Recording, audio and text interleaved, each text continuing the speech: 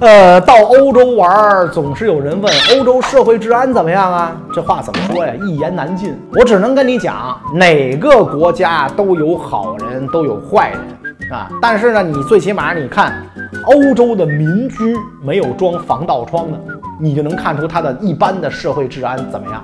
啊，恶性案件很少，除了这暴力恐怖，那那不属于治安了，那是政治事件。遭遇抢劫的啊，至少德国、这个奥地利、捷克、匈牙利没听说过啊。说现在可能法国有，意大利有啊，尤其法国可能是比较多。那些国家真没听说过，小偷小摸都在所难免。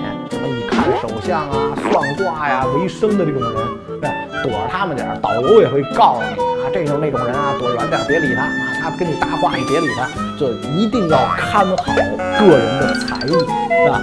所以我就是这么建议：钱、护照、信用卡，千万不要搁在一个包里，让人一勺烩，是吧？能不背包尽量不背包啊！在那个穿衣服里边，我也跟大家讲过，尽量穿有内兜的衣服。所以他那儿的这个治安呢，总体情况我觉得德国最好，是吧？奥地利这也不错，那捷克呢可能就不如他们了，啊，匈牙利又不如捷克，但是总体情况还是很不错的，人民也是热情友好的，不要有好奇心啊，不要往前凑合，尤其是见热闹也躲着点儿啊。中国人爱看热闹，哎，怎么了？怎么了？怎么了？哎，钱包没了，你说怎么了？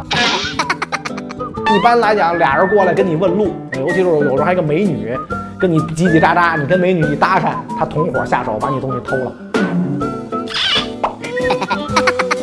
所以我我我总体的印象就是恶性治安事件没有，小偷小摸有，但我没赶上啊。我们这次出去，我们团包括我们摄制组都没赶上，但是听说有啊，听说有，所以就加点小心就完了啊。这个呃，像什么法国、意大利、西班牙可能更厉害一点啊，到那些地方就更得加一点小心。